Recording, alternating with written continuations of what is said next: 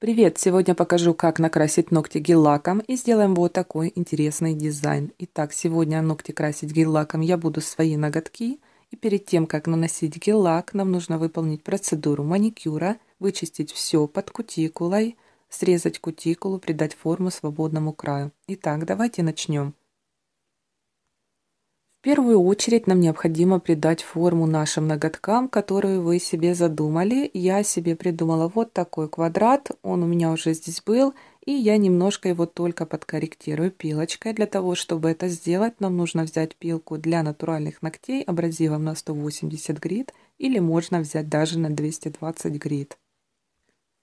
После чего можно уже поработать с кутикулой. Берем апельсиновую палочку и нужно отодвинуть кутикулу. Хорошо ее отклеить от ноготка. Делать это нужно аккуратно, сильно не давить, чтобы не травмировать нашу кутикулу и кожу под нею и сам матрикс, чтобы у нас ноготочек не деформировался.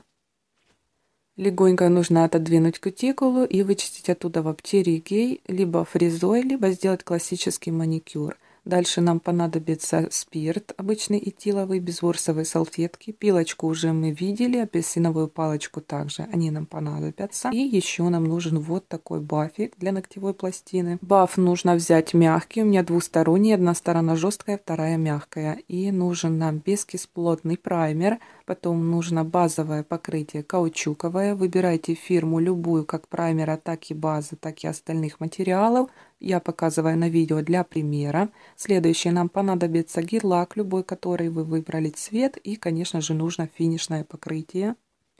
Оно же топ называется. И можно взять матовое, можно взять глянцевое, любое, которое вам нравится. Итак, давайте продолжать.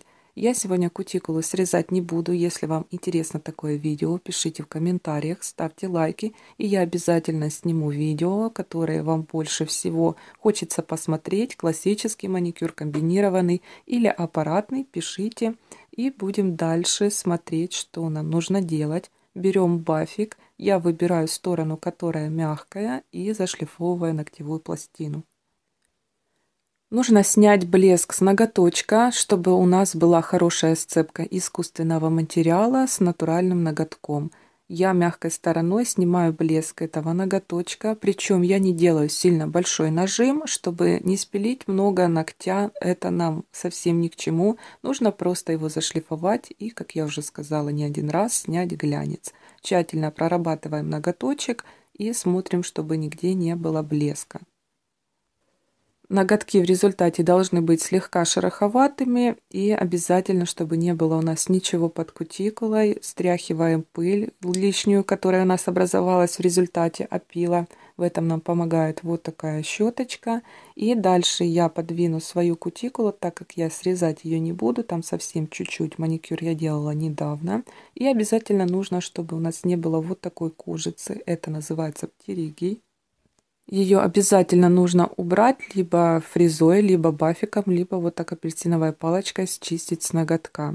И дальше я беру безворсовую салфетку, которую предварительно смочила в обезжиривателе, в спирте, который я вам показывала в баночке, намотала на апельсиновую палку и хорошо протираю ногтевую пластину, чтобы обезжирить ее. Обезжириваем все ноготки по очереди и не касаемся больше обезжириванных ноготков пальчиками. Вот так у нас выглядят подготовленные ноготочки. Они такие белесые, это значит, что они обезжиренные и слегка шероховатые, это значит, что они забафлены и чешуйки у нас подняты.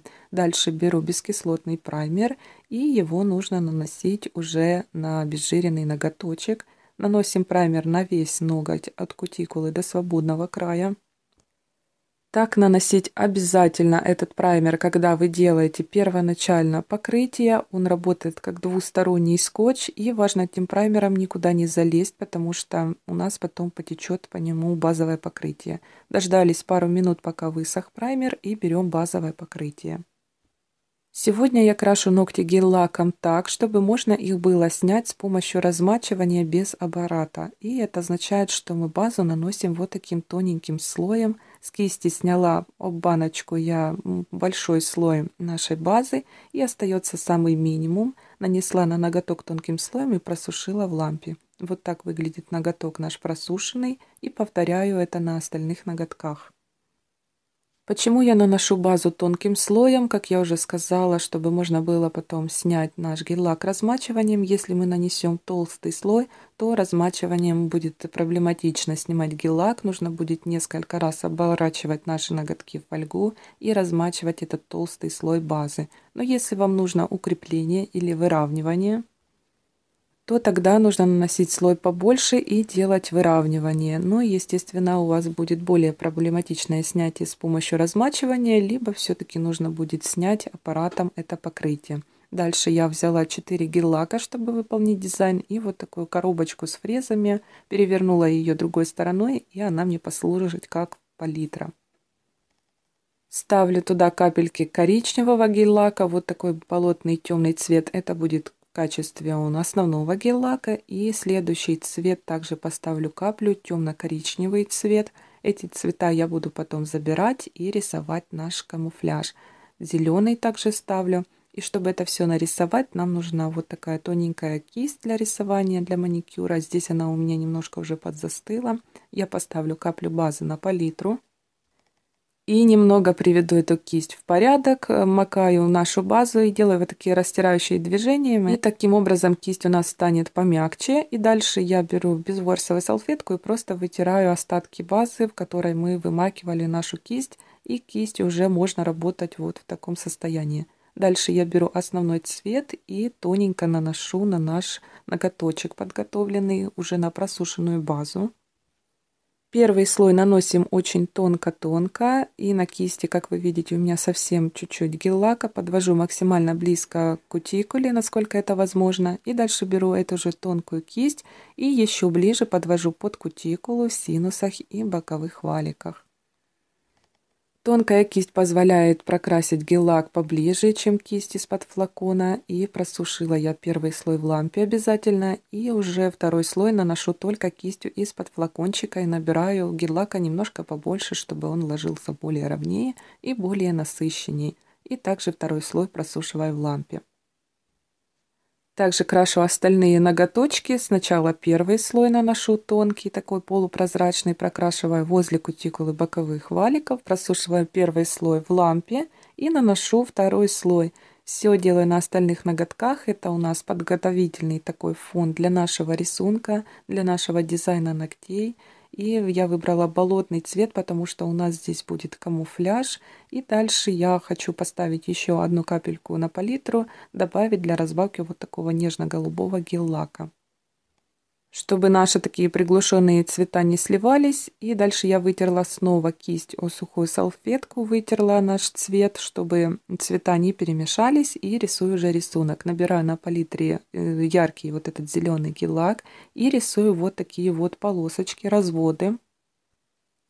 В этих разводах не должно быть никаких острых хвостиков. Здесь вот такие кляксы должны, пятна быть э, мягкие, кругленькие, э, закругленности и никаких, как я сказала, острых хвостиков. На камуфляже просто вот такие волнистые у нас идут пятнышки. Я повторяю на всех сразу одновременно ноготочках и просушиваю этот слой в лампе. После просушки первого слоя я беру темно-коричневый гель-лак, обязательно беру темный цвет, чтобы рисунок был более интересный, и также ставлю вот такие кляксочки, без острых углов желательно, и ставлю темно-коричневым немного поменьше, и также просушиваю его в лампе. Вот так примерно все у нас выглядит. И следующий слой это светло-коричневый гель-лак уже, наношу уже более такие покрупнее пятнышки. Подвожу их к предыдущим пятнам, к вот этому зеленому и темно-коричневому. Более заполняю сильнее наш фон. И вот такой результат. Отправляем в лампу на просушку. Повторяем это все на остальных ноготках. Просушиваем. И беру уже вот этот светло-голубой гель-лак. И делаю такую разбавочку нашего рисуночка. Слегка немного добавляю светлого. И также повторяю на всех ногтях. И обязательно просушиваю этот слой в лампе. Вот такой рисуночек у нас интересный получается. Пишите в комментариях, как вам такой камуфляж, нравится или нет. Или вам нравятся более нежные дизайны какие-то. И в конце, конечно же, наш, наш камуфляж, наше покрытие гель-лак, даже если у вас однотон или что вы там рисовали, френч какой-то, или слайдеры клеили, то нужно перекрыть наш гель-лак обязательно топовым покрытием, то есть финишем, матовым, либо глянцевым, любым, который вы выбрали. И просушиваем наш топ в лампе одну минуту.